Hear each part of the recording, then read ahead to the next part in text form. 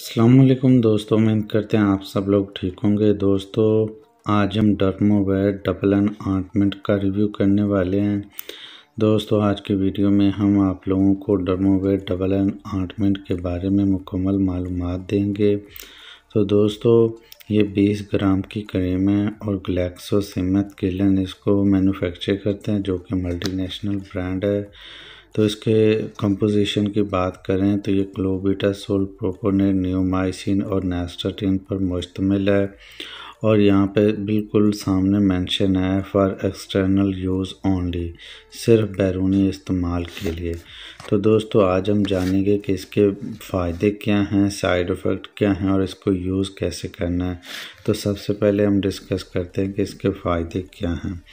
दोस्तों, ये कोटिकोस्टीरॉयड है। बहुत तेज़ी से एक्ट करता है आपकी स्किन या बॉडी के किसी पार्ट भी आप यूज़ करते हैं। इसको बेसिकली स्किन इन्फेक्शन को ख़त्म करने के लिए इस्तेमाल करा जाता है।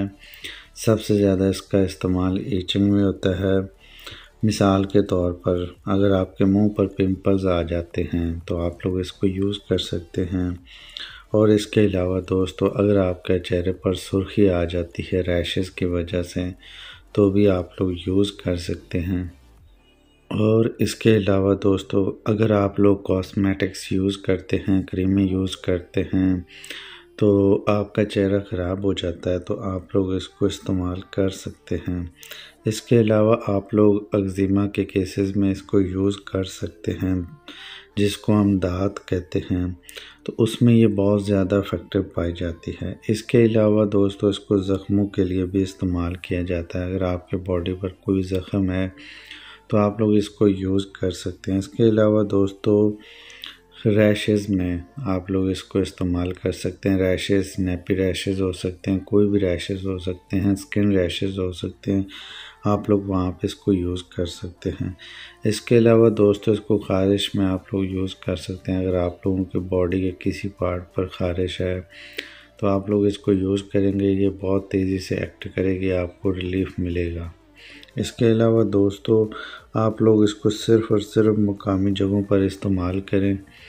और दोस्तों, इसके अलावा इसका मेन जो थीम है, अगर आप लोग चेहरे पर इस्तेमाल ना करें तो बहुत अच्छी बात है। अगर आप लोग दूसरी क्रीमों में मिक्स करके चेहरे पर इस्तेमाल करते हैं तो ये आपके लिए बहुत अच्छा नहीं होगा।